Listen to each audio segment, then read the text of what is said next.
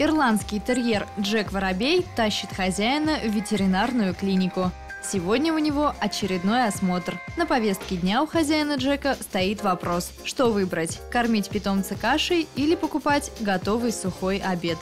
Какой-то сухой корм может не подойти питомцу, потому что там очень много компонентов э, в его составе. И бывает иногда э, какая-то непереносимость некоторых. Не так просто соблюсти баланс всех нужных питательных веществ. И при кормлении натуральными продуктами обязательно нужно давать витаминно-минеральные добавки комплексные. Кормить животных готовыми кормами удобно, стоит только открыть пакет. К тому же в одной миске умещается целый комплекс витаминов. Но с другой стороны, некоторые химические вещества пагубно влияют на желудок питомца. Потому нужно обращать внимание на реакцию собаки после приема пищи.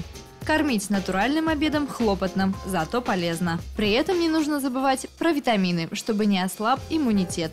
Если в организме недостаточно кальция, питомец грызет штукатурку, кирпич или землю. Мусолит грязные носки и обувные стельки, пополните витамин В. Если у собаки искривляются кости или задние конечности становятся X-образными, недостаток витамина D. Лучше всего покупать сразу поливитаминные добавки. Тогда ваше домашнее животное точно будет здоровым и бодрым. Прежде чем вы собираетесь завести домашнего питомца, mm-hmm. обязательно узнайте, Э, какие должны быть у него условия, какие правила кормления, какой должен быть уход.